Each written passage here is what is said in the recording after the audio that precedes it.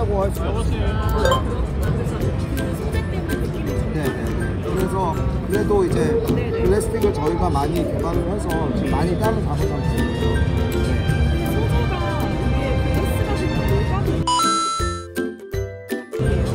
글래스가 되면 일단 무게감이 좀 더 얇습니다. 얇습니다. 네. 할때 어쩔 수 없이 생기는 건데 글래스는 이런 거.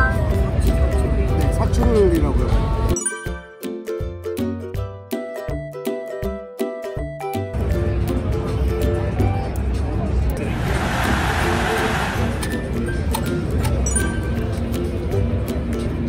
네.